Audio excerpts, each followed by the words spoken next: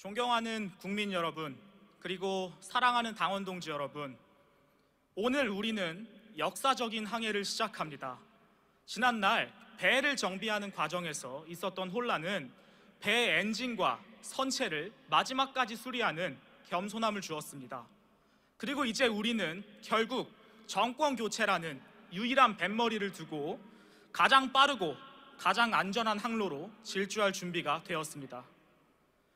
우리의 힘찬 출항에 앞서 한 가지 메시지를 전하고자 이 자리에 섰습니다. 여러분들은 사람이 무엇에 열광한다고 생각하십니까? 사람들은 유행에 열광하지 않습니다. 사람들은 뻔한 스토리에 열광하지 않습니다. 사람들이 정말 열광하는 지점은 똑같은 것들 사이에 튀는 무언가입니다. 그렇기에 대선이라는 이번 항해의 여정에서 우리의 컨셉은 불협화음이어야 합니다. 우리 국민의힘의 발자취는 항상 불협화음이었습니다. 우리는 여의도의 문법으로는 이해할 수 없던 30대 당대표를 세운 정당입니다. 우리는 남들처럼 조직이나 사람에 충성하는 것이 아니라 공정과 법치에 충성하는 후보가 있는 정당입니다.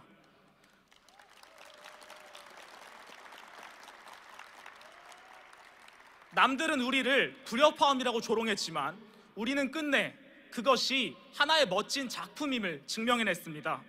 그것이 우리가 이겨온 방식이고 우리는 이번에도 그렇게 승리할 것입니다.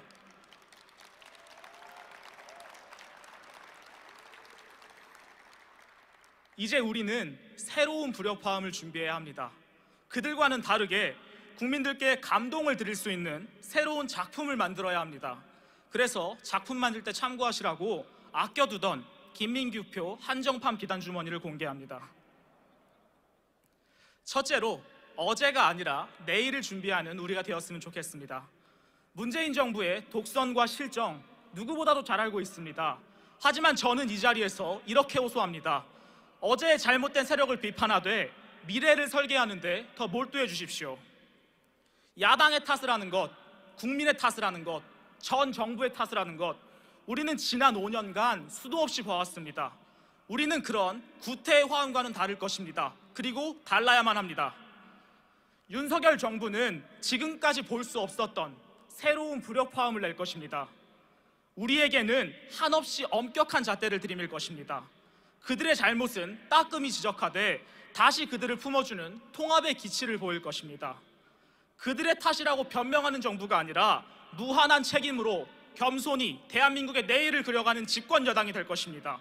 그것이 우리가 내보일 첫 번째 작품입니다.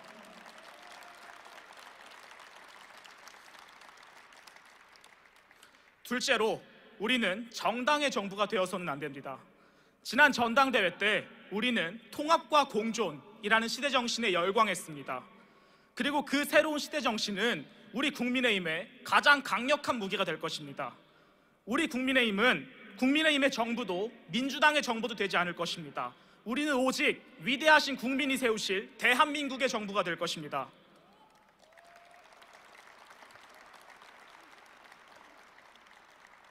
지난 5년은 의심할 여지 없이 민주당 정부의 시간이었습니다. 한 번도 경험해보지 못한 분열과 공멸에 우리 국민들은 아파하셨습니다.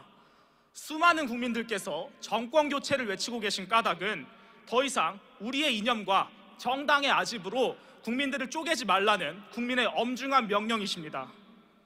우리에게는 국민의힘의 국민이 있는 것이 아닙니다.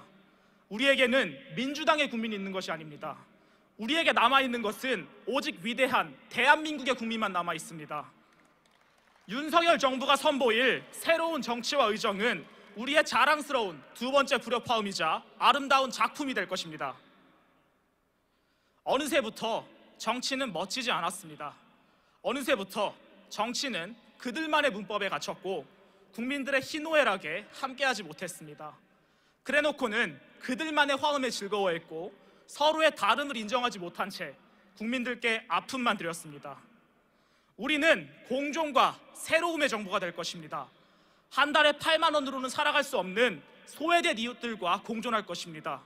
기본주택 100만 호로는 해결되지 않는 임차인들의 서름과 공존할 것입니다. 반대 진영을 모두 수구와 적폐로 모는 그런 구태 정치를 단호히 끊어내는 새로움을 보일 것입니다. 그것이 윤석열 정부가 낼 불협화음이고 국민들은 그 간결하면서도 소박한 메시지에 감동하실 것입니다. 존경하는 국민 여러분, 저는 꿈이 있습니다. 권력보다는 국민을 향한 사랑을, 대통령직이라는 트로피보다는 공정과 상식이라는 철학을 먼저 하는 대통령이 제가 처음으로 투표하는 그런 대통령이 되었으면 좋겠습니다. 지켜봐 주십시오. 윤석열 정부와 우리가 함께 써내려갈 불협화음의 악보는 머지않아 우리 국민의힘이 항상 그래왔던 것처럼 최고의 걸작으로 국민들께 평가받을 것입니다. 그 길에 함께 해 주십시오. 우리의 예술은 시작되었습니다. 감사합니다. 감사합니다.